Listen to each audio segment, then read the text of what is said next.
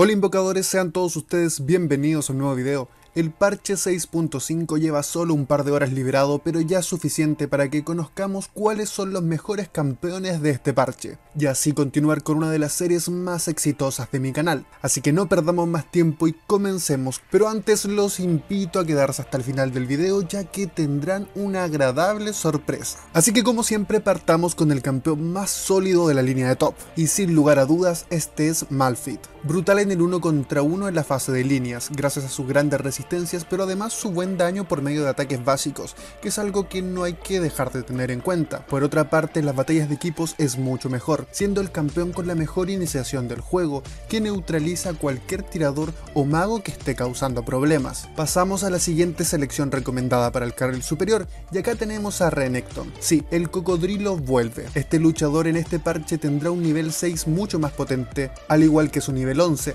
lo que le permitirá tener batallas de equipos mucho más sólidas y capacidad de matar a los tiradores en base a grandes cantidades de daño y resistencias como lo hacía antes. Además su fase de línea se ve mejorada ya que será mucho más agresiva gracias a las modificaciones de furia que siempre otorgarán que sus habilidades tengan un efecto mejorado. Y finalmente la tercera selección recomendada para el carril superior sigue siendo Fiora. Es que no hay mucho que decir, actualmente le puedes ganar la línea a una Fiora, pero si en una batalla de equipos te descuida y comienza a realizar su daño, y además de esto regenerar su vida, no queda más que sentarse y ponerse a llorar, porque no habrá tirador que aguante a esta duelista, ya que es especialista en ganar batallas de equipos e ir acumulando asesinatos. Ahora invocadores pasemos a los campeones recomendados para la jungla. Cambios importantes en esta posición respecto al parche 6.4 no hubieron, a excepción de un campeón que sí recibió una mejora e importante, su nombre es Jarvan IV. El príncipe de Maciano vuelve a la jungla por dos razones. Mejoraron su capacidad de duelista gracias a su escudo, que ahora tiene un enfriamiento parejo en todos los niveles, lo que le permitirá a Jarvan utilizarlo dos veces en las batallas de equipos. Pero más importante aún, la mejora que recibió su definitiva, el cataclismo. Ahora este realiza un daño igual a todos los objetivos impactados, lo que volverá a Jarvan nuevamente uno de los campeones especialistas en combos, ya que al combinar esta definitiva más la de Oriana o Lux será un wombo combo brutal que no habrá frontlane o backlane que aguante.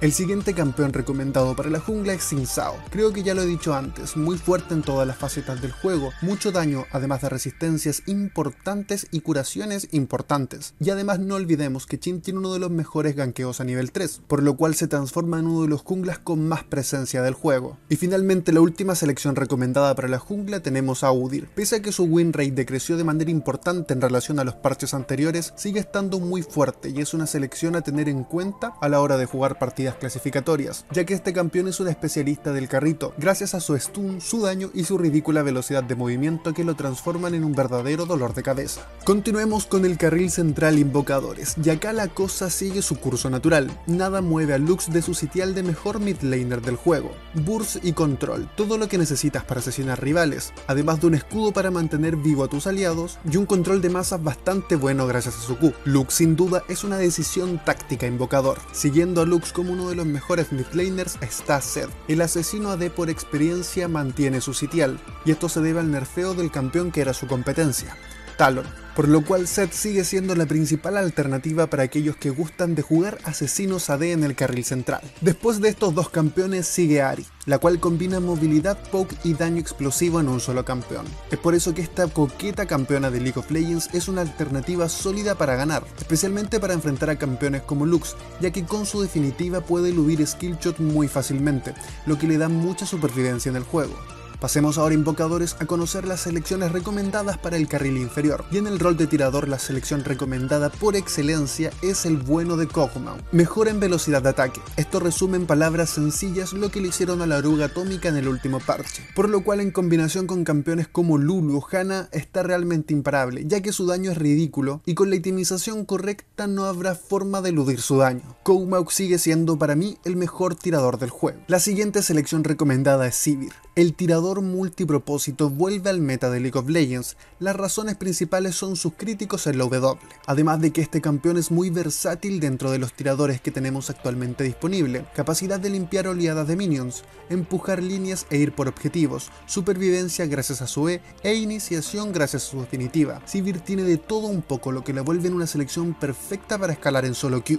La tercera y última selección recomendada para el rol de tirador es Kalista. En estos momentos Kalista es una de las las tiradoras con mayor porcentaje de victorias del juego, especialmente por su daño explosivo que le permite luchar por objetivos como dragón y varón, ya que los aseguran muy fácilmente. Es como tener un segundo smite, y además las mecánicas incorporadas de quiteo de esta campeona, lo que la vuelven no tan dependiente del pil como otros tiradores.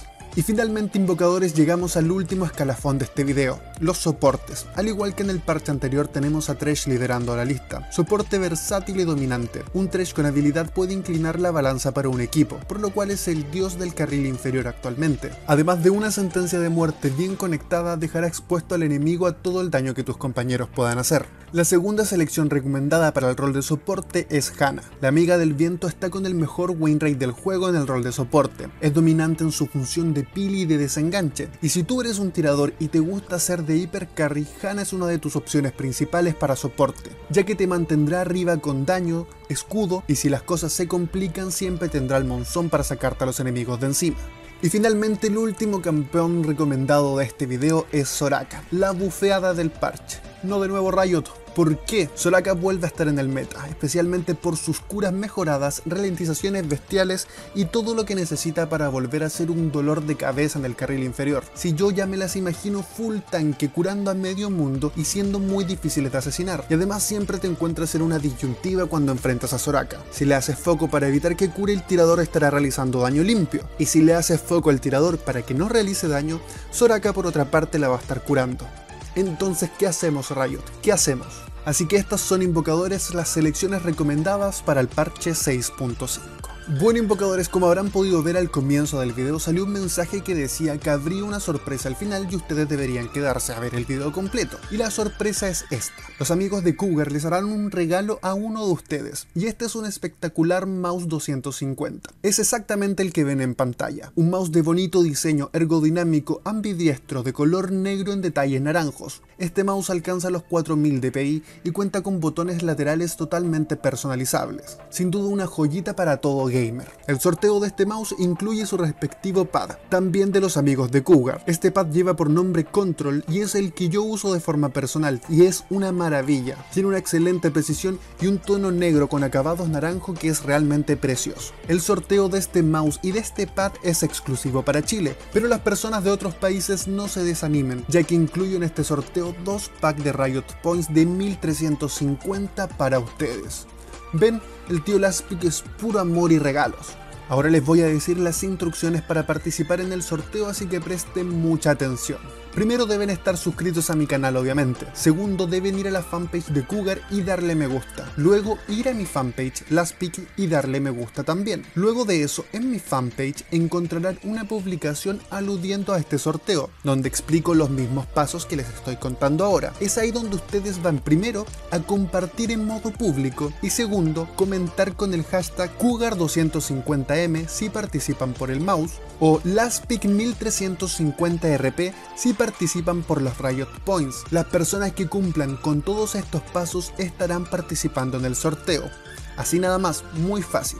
3 minutos de su tiempo y pueden ganar espectaculares premios. Los ganadores del sorteo serán publicados en mi fanpage el día domingo 20 de marzo obviamente del año 2016. Así que no pierdan tiempo, todos los enlaces a los cuales necesitan ir están en la descripción de este video. Vayan, participen y no pierdan la oportunidad de ganar un hermoso mouse y un pad o 1350 Riot Points para la skin que ustedes quieran y ojo, en todos los servidores. En síntesis, este sorteo tendrá tres ganadores, uno que será de Chile con el mouse y el pad y dos que pueden ser de cualquier parte del mundo que ganarán 1350 Riot Points. Si tienen alguna duda respecto al sorteo, me la pueden realizar en mi fanpage por mensaje privado y yo en un par de minutos o en una hora les responderé. Así que esperando que todo esto haya quedado claro, me comienzo a despedir y esperando que el video también les haya gustado. Yo soy Laspic y nos vemos hasta la próxima. Adiós.